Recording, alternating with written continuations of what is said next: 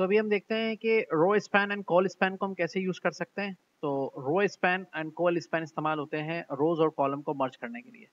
लेकिन इसका यूटिलाइजेशन कैसे हो सकता है, इसको हम एक बेसिक एग्ज़ाम्पल के ज़रिए समझेंगे फिर जो असाइनमेंट आपको दिए वो आप बनाने की कोशिश करना। नहीं बनेगा तो ऐसे आठ दस और असाइनमेंट दे देंगे आपको, फिर बना के दिखा देंगे। सही है?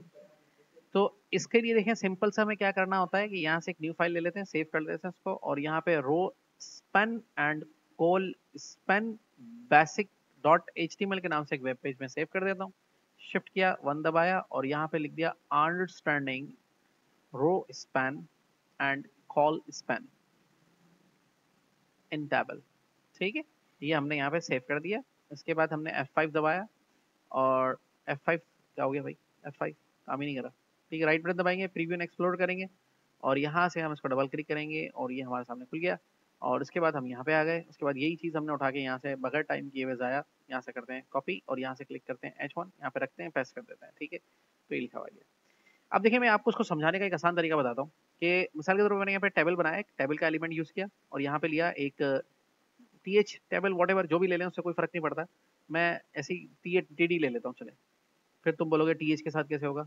तो हम पहले टी आर लेते हैं और टी आर के अंदर जाके टी एच ले लेते हैं, पहले टी एच ले लेते हैं और उसके अंदर हम जो है ऐसे लिखते हैं वन ठीक है? दूसरा टी एच लेते हैं, उसके अंदर लिखते हैं टी एच टू और ऐसा करके आगे जाते हैं हम, एक और ले लेते हैं टी एच थ्री और फिर यहाँ पे ले लेते हैं एक और टी एच फोर ठीक है? और यहाँ पे ले लेते हैं टी एच एक और फाइव ठीक है? तो ये हमारे पास हो गया।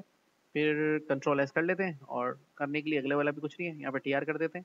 फिर टी डी ले लेते हैं, और यहाँ पे हम ले लेते हैं फाइव ठीक है? और यहाँ पे क्लिक करेंगे टी डी अब ये हमारे पास यही काम हो रहा है तो इसको क्या करेंगे यहाँ से? Control C and then control V control V control V control V five के बाद हम ले लेंगे यहाँ पे six and then seven then eight और नाइन और।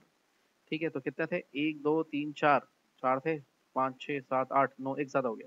तो इसको यहाँ से हटा देते हैं। रिफ्रेश कर देते हैं यहाँ जाके तो इस तरह का मामला होगा। ठीक है? तो उसके बाद हमें और क्या करना है? इसको कॉपी कर लेना है और यहाँ से रह इसको इसे कर देना है, इसको ये पे कर देना है। ठीक है तो पाँच के बाद क्या आएगा यहाँ पे?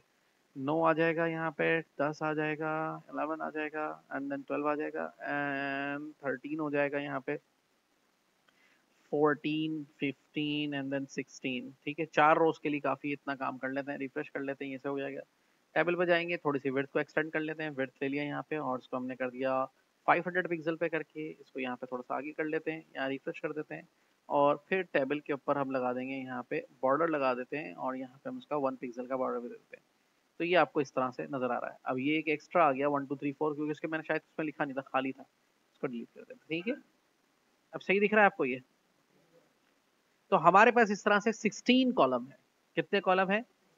अरे सिक्सटीन सेल हैं। कॉलम कहाँ है? सोरे हो गए सारे के सारे? सिक्सटीन सेल हैं।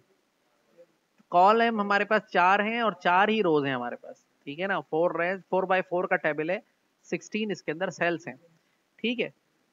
अब सवाल आपका पहला ये है कि हम चाह रहे हैं कि दो, तीन, चार मिलकर एक सेल बनाए।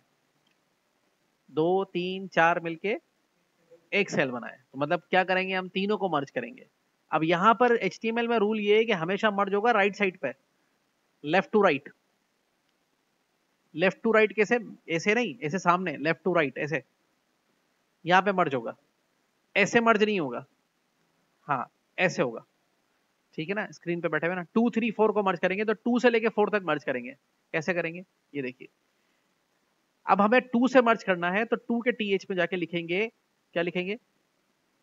Col span equal to double quotation कितने सेल होंगे मर्ज एक, दो, तीन। तो वैल्यू पास करेंगे थ्री हाँ भाई, अब मैं रिफ्रेश करने जा रहा हूँ, क्या होगा? इब्राहिम से पूछना इब्राहिम क्या होगा? ऑप्शन है ये तीनों सेल मर्ज होके एक हो जाएँगे और उस सेल में लिखा जाएगा दो, तीन, चार। ऑप्शन बी, ये तीनों सेल मर्ज तो हो जाएँगे, लेकिन थ्री और फोर एक्सटेंडेड दो आगे चले जाएँगे। एक्सटेंडेड हो जाएगा वेरी गुड ये हो जाएगा। तो अब इसका हल क्या है? हल क्या है? अरे भाई सिंपल सा हल है, अब इन दोनों को डिलीट कर देंगे हम और दो, तीन, चार इसमें लिख देंगे।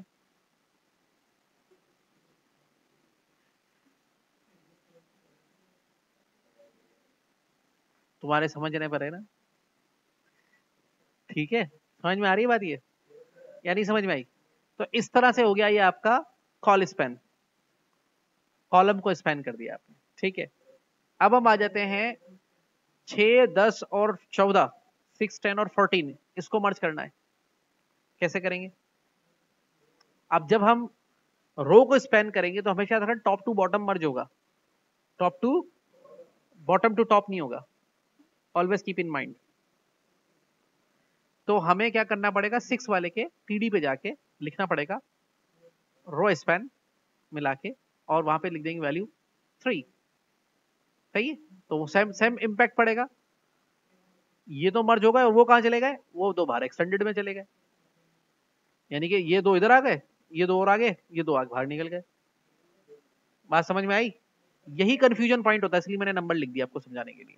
कि नंबर से आप जल्दी समझ जाएँगे टेक्स्ट लिखता तो नामों से फिर प्रॉब्लम हो जाता आपको। तो अब क्या करेंगे? सेवन और एट वाले दोनों सेल्स को फारिग कर देंगे यहाँ से और यहाँ पे रिफ्रेश कर देंगे। ठीक है? भाई, फारिग कर दिया तो ये तो पूरी रो चली गई। क्या करवा दिया, उल्टा करा दिया। नहीं, रो रो स्पेन हमने किया है इस तरह से। तो इस तरह से जब ये हुआ सेवन और एट को नहीं करेंगे? हाँ अब ये थोड़ा सा यही समझना था। ये एक मिनट, मैं रो स्पेन हटा रहा हूँ, दोबारा से समझ लें। देखें सिक्स टेन और फोर्टीन को करना है। तो अब इसमें इसमें समझना है। सिक्स है रो नंबर टू में, टेन है रो नंबर थ्री में, और फोर्टीन है रो नंबर फोर में। तो रो नंबर टू के सिक्स पर जब आप लिखेंगे ना, रो स्पेन थ्री तो आपको डिलीट करना होगा रो नंबर थ्री का सेकंड वाला टीडी, रो नंबर फोर का सेकंड वाला टीडी, क्योंकि ये मर्ज ऐसे हो रहा है। एक रो में नहीं हो रहा है ये ऐसे डिफरेंट रो में जा रहा है। तो इसका सोल्यूशन ये निकलेगा, अगर आप यहाँ लिखते हैं रो स्पैन और इक्वल टू थ्री तो फिर आपने ये थी सेकेंड रो अब इसकी जाएगी थर्ड रो में, और इसका सेकेंड वाला इसको यहाँ से टेन को डिलीट करेंगे। मतलब टेन को डिलीट करेंगे और फोर्टीन को डिलीट करेंगे। टेन डिलीट हो गया और फोर्टीन यहाँ से डिलीट हो गया। अब ये सेट हो जाएगा ये। आई बात समझ में? अगर कोई कंफ्यूजन है तो पूछ लो। बाकी टाइप हम उसके अंदर कर देते हैं जाके सिक्स के साथ कर देंगे।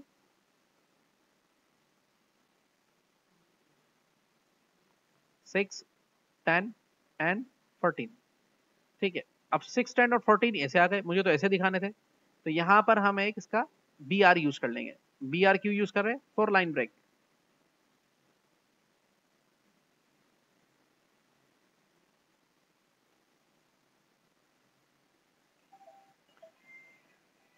समझ में आई बात ये? ठीक है? अब समझ में आ गया row span and col span कैसे यूज़ होना है?